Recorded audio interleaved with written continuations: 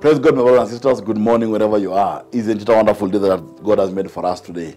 As we jump into power to become, my dear friends, and today I'm talking about groundbreaking anointing.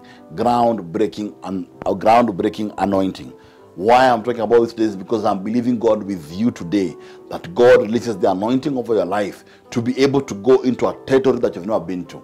He got the Lord releases power over your life that you're able to go to a level you have never been to in your life. Because there comes a time when the Lord has to promote you, has to lift you. There comes a time you have to get new ground, have to get a new job, new position. Something has to change, a new status. Something has to change, and it's a place you have never been to before. So, groundbreaking anointing, my dear friends, is you're believing God today in confidence that this morning He will release upon you the right anointing you require to enter into a new level, a new territory for the glory of His name. And I read from Jeremiah 4 3, it says this For this is what the Lord God says to the men of Judah and to Jerusalem Get your unworked land plowed up do not put your seeds among the thorns.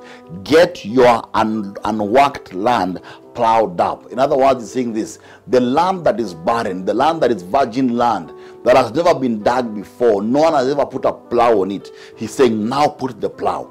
He's saying this because he has released the anointing over their lives that now they are able, my dear friends, to cultivate an area that has never been touched before. Now they are able, my, my dear friends, to, to, to go to a land or to do something that has never been done there before. Today we are telling God to give us the grace to plow our unplowed land, to work our unplowed land. And this might be even a new level of faith. It may be you believing God for something new you've not believed Him for. It may be you trusting God for a door you've never believed would open for you. What I'm saying that today we are believing God for what you've never had. Believe God for where you've never been. Believe God for what you've never seen. You're saying you're believing God for an experience, an encounter, a touch, a move that you've never seen before. Because today we are working our unplowed land. We are asking God to release the grace of our lives. If God says, work the unplowed land, it means you have the strength to break the ground. So, today, my dear friends, I'm believing God that you have groundbreaking anointing, that you will move to another level today, you will gain your territory today, you will move from glory to glory for the glory of the Lord's name. That is groundbreaking anointing for you today. Don't settle. Believe Him for more.